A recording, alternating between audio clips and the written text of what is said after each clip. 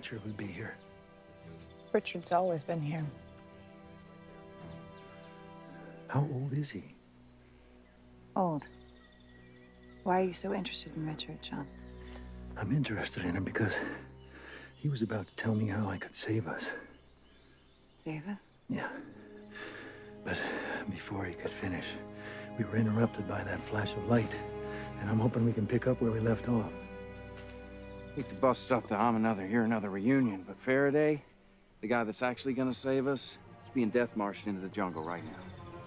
Good luck with that. You're not gonna help me save him? No. I'm gonna go down and finish my conversation with Richard.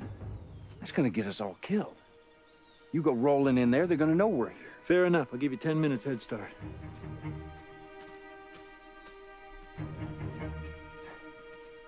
What about you? Want to stay here in Crazy Town or help me rescue the geek?